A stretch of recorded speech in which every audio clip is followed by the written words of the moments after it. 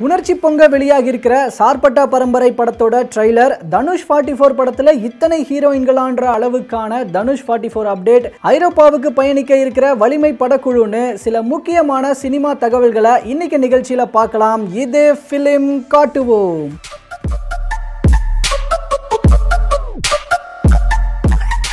ரொம்ப பெரிய ஆரவாரத்தோட வெளியாகி இருக்கிற சார்பட்டா பரம்பரை படத்தோட ட்ரெய்லர் படத்தை பத்தின யூகங்களை கிளறி விட்டுருக்கு. சென்னையில நடக்கிற பாக்ஸிங்கை மையமா வச்சு நடக்கிற கதையில ஒன்னா இருந்து நாளா பிரிஞ்ச பரம்பரை பாக்ஸிங்னா என்ன உங்க அப்பன் வீட்டு சொத்தான்னு கேட்கிற உரிமை குரல்னு பாக்ஸிங்கை தவிர்த்து சில சமூக பிரச்சனைகளையும் பேசுற படமா இருக்குமோன்ற யூகத்தை கிளப்பியிருக்குது படத்தோட ட்ரெய்லர். வலிமை படத்தோட ஃபர்ஸ்ட் லுக் போஸ்டர் மோஷன் போஸ்டர்லாம் சமீபத்தில் வெளியாகி ரொம்ப பெரிய வரவேற்பை சம்பாரிச்சது.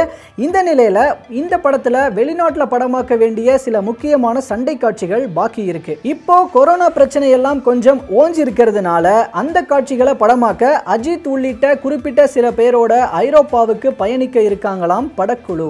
சேகர் கமூலா செல்வராகவன் ராம்குமார் மாரி செல்வராஜ் பாலாஜி மோகன்னு தனுஷை வச்சு படம் பண்றவங்களோட எண்ணிக்கை அதிகமா இருந்தாலும் இயக்குனர் மித்ரன் ஜவஹர் இயக்க போற படம் தான் தனுஷோட நாற்பத்தி நாலாவது படமா இருக்க போகுது. இதுக்கு காரணம் படத்தோட தயாரிப்பாளரான சன் பிக்சர்ஸ் நிறுவனம் தான் இந்த படத்துல தனுஷுக்கு ஜோடியா நித்யா மேனன் பிரியா பவானி சங்கர் ஹன்சிகான்னு மூணு பேர் நடிக்கிறாங்க. கூடிய சீக்கிரம் படத்தை பற்றின விவரங்களை சன் பிக்சர்ஸ் நிறுவனம் அதிகாரப்பூர்வமாக வெளியிடுவாங்கன்னு எதிர்பார்க்கப்படுது.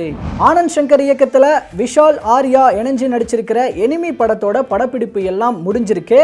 இதை பற்றி விஷால் தன்னோட ட்விட்டர் பதிவில் குறிப்பிட்டிருக்கிறாரு. என்ன அப்படின்னா எனிமி படப்பிடிப்பு முடிஞ்சிடுச்சு. கூடிய சீக்கிரம் டீசர் வெளியாக எல்லாம் தயார் நிலையில் இருக்கு.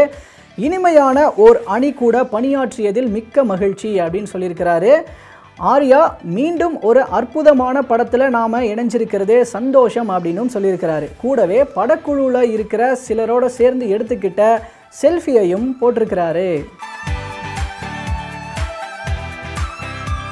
ஓகே இன்னைக்கு கிடைச்ச சில சினிமா தகவல்களை பார்த்தோம். நாளைக்கு இது மாதிரியான இன்னும் பல புதிய தகவல்களோட உங்களை சந்திக்கிறேன். அதுவரை உங்களிடமிருந்து விடைபெறும் நான் கோபிநாத். டடா பாய்.